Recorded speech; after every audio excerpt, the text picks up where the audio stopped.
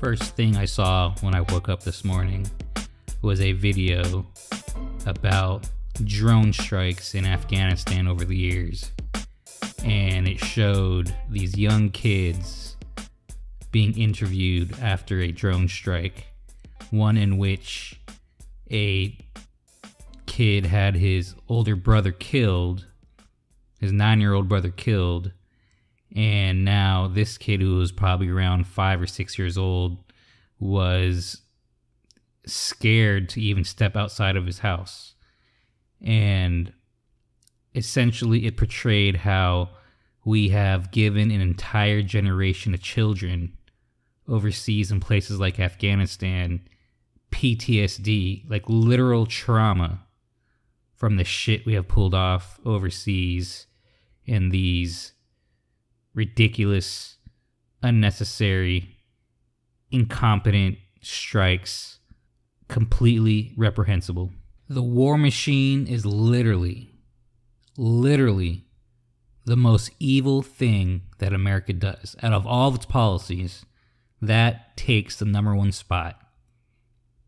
Every libertarian, every liberty loving, freedom loving individual should be against this.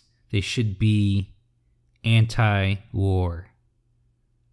Not just anti war in the Middle East, but anti war. Because for a government to engage in war, it will initiate violence against peaceful, innocent people.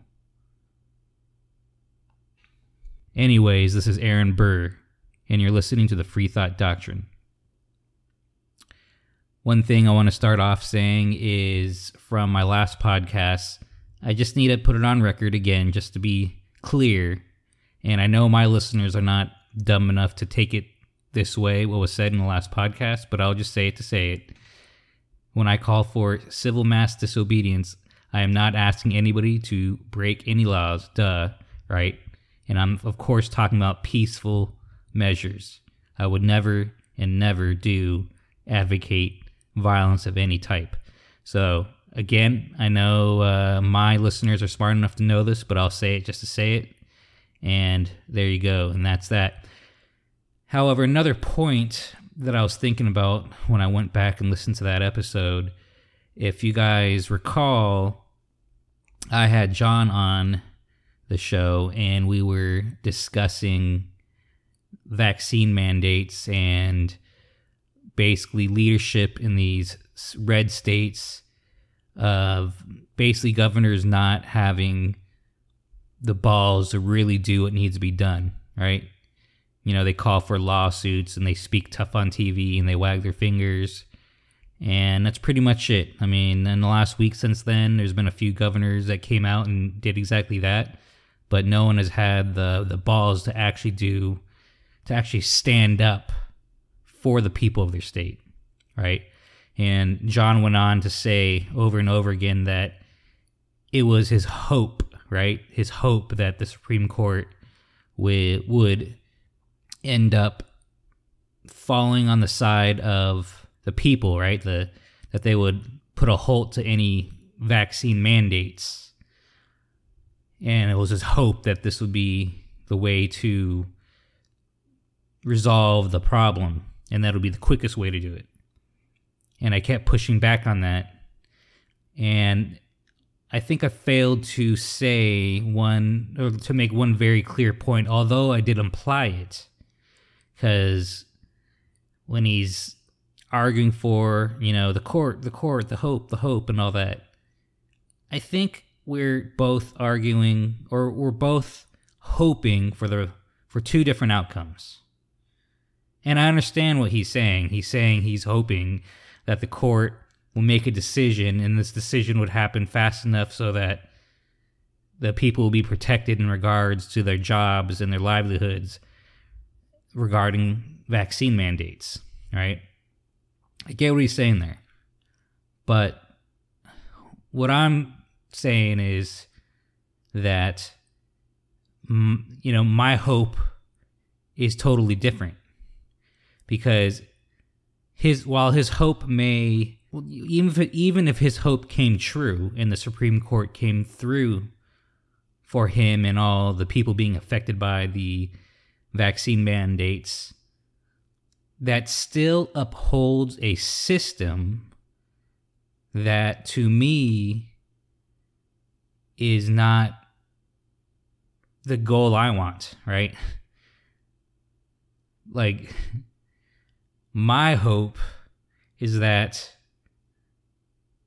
we decentralize, that we take away the power of the federal government, that we return the power to the states and to the people.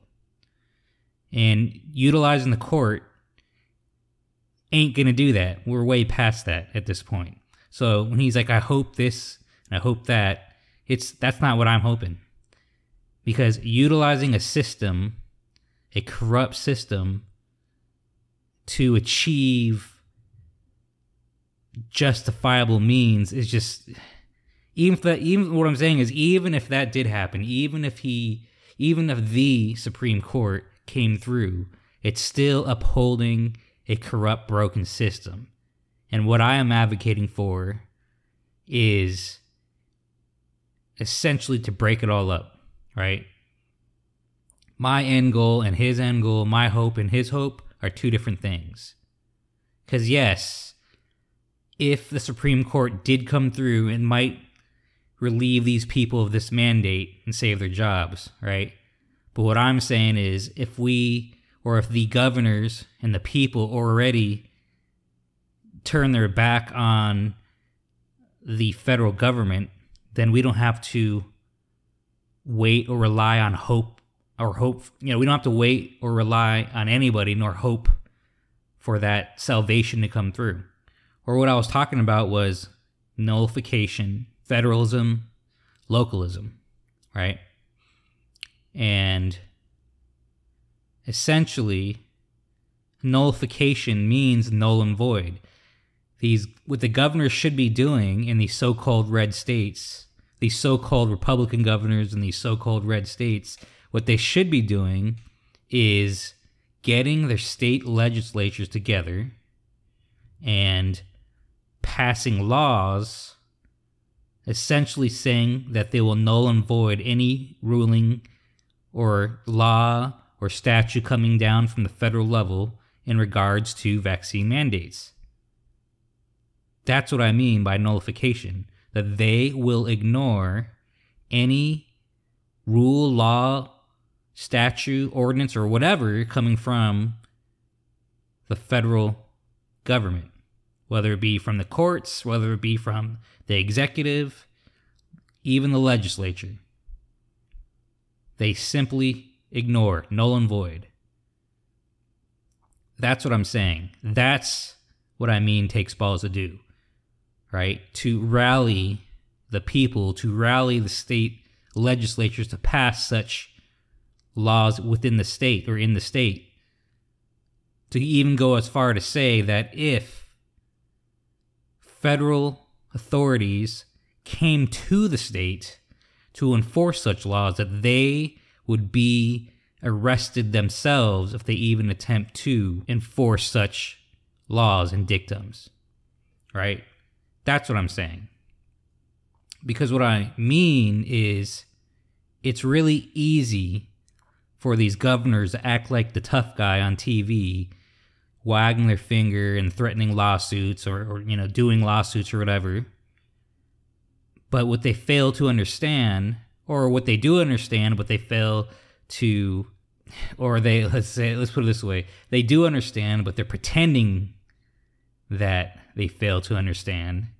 Is that when they work within the constraints of the system and the rules, they forget, or again, they pretend to forget that their opposition, in this case, the authoritarian left, does not play by those rules. They don't play by the rules. They don't give a shit about the Constitution. They long broke that shit a long time ago. So when you try to play within their rules, there's no there's no fucking point. But again, they know this. They know this. But here's the thing is rather than having the balls to come out and say these things, they play within the system playing dumb essentially because they know that if they uphold the current system that their jobs are comfortable right that there's no threat or challenge to them. That the system, although is corrupt, it will at least uphold them. Uh, you know, it will at least give them the power they have or think they have. And they know that if they actually came out and said the truth and had some balls and spoke against the system, that then their jobs would be taken away. See, it's only when they work within the system, even though they know that, even though they know that it don't work, that it's corrupt, but they know they could act tough, knowing that at the end of the day, their side's going to lose, but they personally aren't going to lose shit. And that's what I'm talking about. And that's the point I think I failed to make. I implied it, but I think it's the point I failed to clearly articulate. That yes, it's easy for them to come out and, oh, we're going to do a lawsuit, this and that, and we're going to go to the Supreme Court. But in reality, they know two things. Either one, it's like yelling at windmills, there's that saying, right? And nothing's going to get done, but they'll be completely secure in their job. But hey, at least they played the part to care. Or two, on the very small chance that the lawsuits do come through, not only will they be hailed a hero, but they still uphold the system that empowers them and gives them power over you. Their jobs are safe no matter what. Right? But like I said, the odds are they're going to lose because that's what always happens. It always trends in one direction and that's more power and control. Consolidating power, that's what always comes down to. Rarely, especially in the last 18 months, have you seen something come through for the side of liberty, for the cause of freedom. It just doesn't happen. And like I was saying in the last episode, a lot of people want that. It's just the truth. A lot of people want that. But that's why it's even more important that these governors and quote unquote leaders stand up to the status quo. Because that's what it it's really about is overcoming the status quo. Like when I'm talking about the system, that's the status quo. Using the Supreme Court with your quote unquote lawsuits, that's upholding the status quo. It takes real leadership to come out against the status quo. It takes real, genuine leadership to break through the status quo, to break up the status quo. And frankly, we don't have any true leadership. We have none. There's been a leadership deficit in this country, in every state in the so called union for decades, decades upon decades where they continue to uphold the status quo, the corrupt, broken system, where they've indoctrinated and propagandized generation after generation that this is the way it has to be, and these are the only methods to try to fix it, even though it, the whole thing is fixed.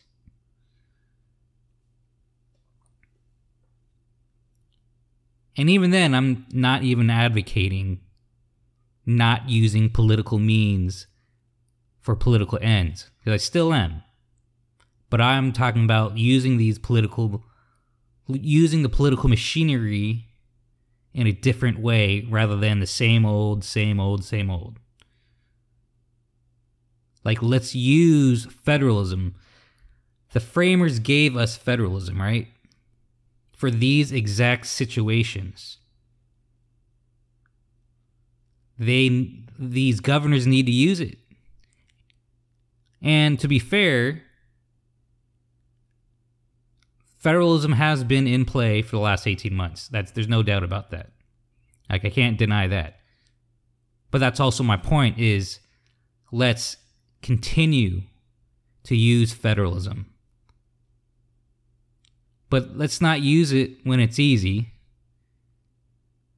Let's use it when it's hard. Cuz you know what I even what do I even mean by that? I mean in the last 18 months obviously who whoever your governor was made a huge difference in your life whether you realize it or not someone living in Florida 8 months ago had way more freedom than someone say living in San Francisco or New York that's just a fact of life it's just a reality and in some places that's still the case in a lot of places, that's still the case. So that's federalism. That's federalism in play right there. And the founders use a worse word to describe that. but that's federalism, right? Like each state basically got to dictate how much of the COVID regime was in place in their state, right? I don't think there's anywhere that was perfect though. Even Florida was under the COVID regime for a while before DeSantis pulled them out of it. And then Texas only followed suit because of Florida, because Abbott didn't want to lose any points, if you will, right? It's all political. So I say again, let's use federalism. That is the key to standing up against these tyrannical mandates. Any tyrannical mandate coming from above, coming from the federal level. And that's where nullification, calling your state legislatures into session and getting bills passed to protect your citizens, frankly, whether they they want it or not, right? But I mean, 80 million people unvaccinated. There's probably a lot of people that don't want it. Let's just be real here.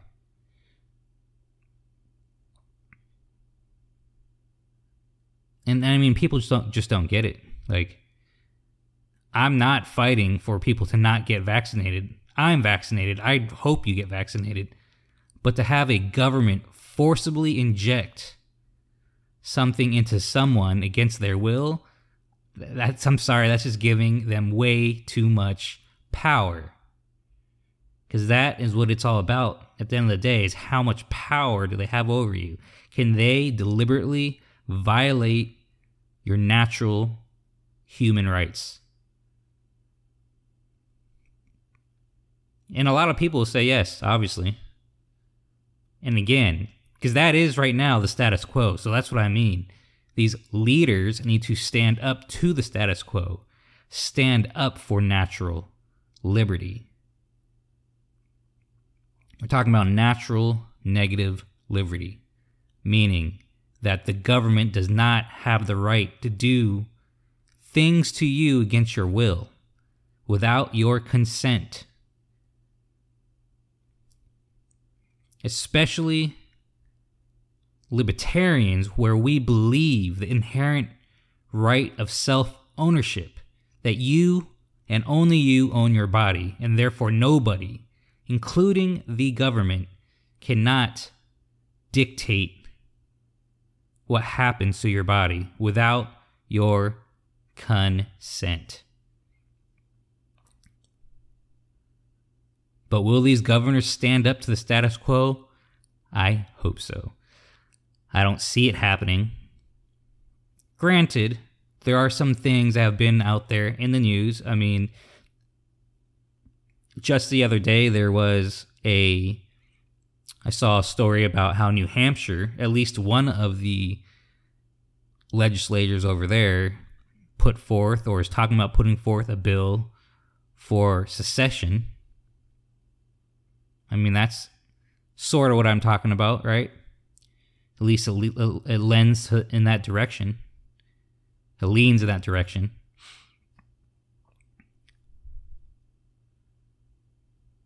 I mean, there's been a lot of buzz with Sarah Silverman, right? Where she even, she's a Hollywood comedic liberal.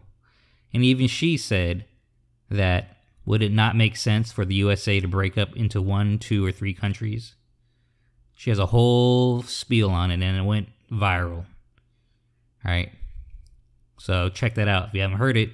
Granted, it's what it's what a lot of us have been saying for a long time. Or at least in the most recent times, for sure. I mean, think about it. When I spoke to John a few episodes back, he asked me what's the difference between the state and country. And I told him that a country is shared values, shared principles, shared heritage, shared history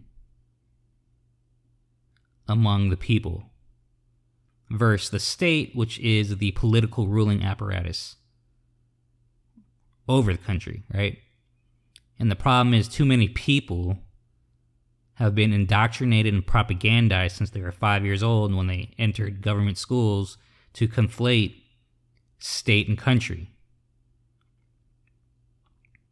But if the main thing here is a shared culture that makes up a, a country, let's just think about it for like a second, right? Do the people of Alabama have the sh- same shared values and culture of the people of New Jersey? Or do the people of Georgia have the same shared values and shared culture of the people of New York? Do the people of San Francisco share the same culture, values, and history of the people of whatever, Wyoming. I mean, I keep I keep doing this all day. But my point is, what is the one thing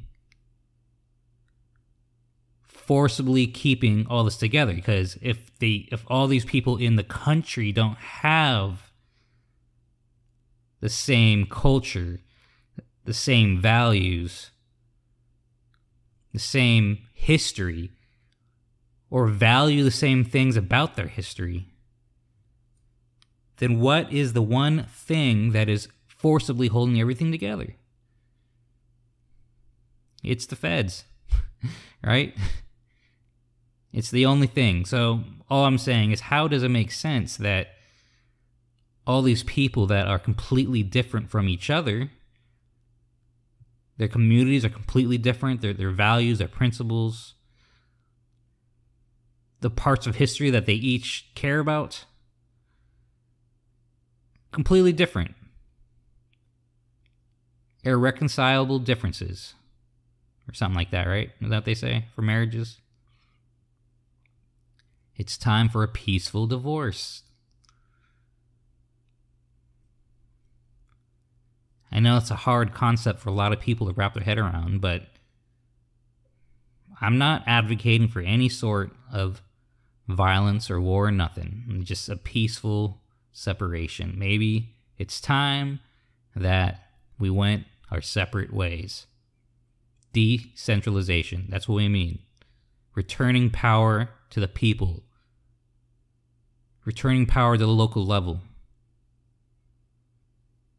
that's something that we should definitely focus on in the future. Because then it doesn't matter what mandate comes out of DC.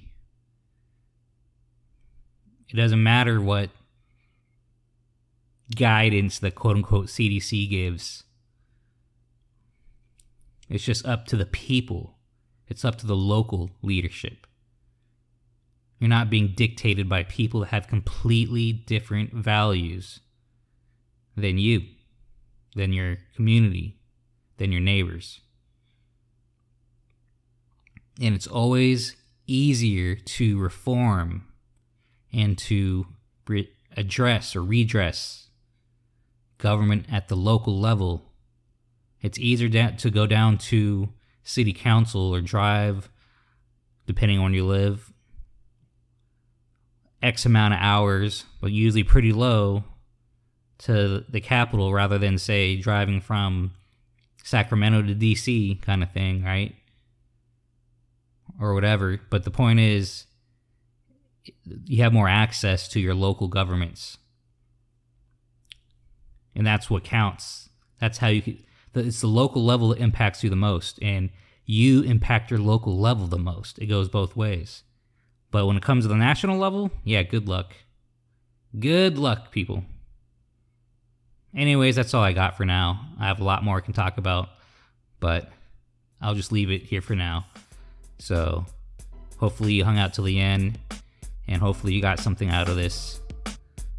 And remember, you can reach me on Twitter. Change my handle, but you can get to it. It's at Aaron Burr ANCAP on Twitter. Anyways, this is Aaron Burr, and you've been listening to the Free Thought Doctrine.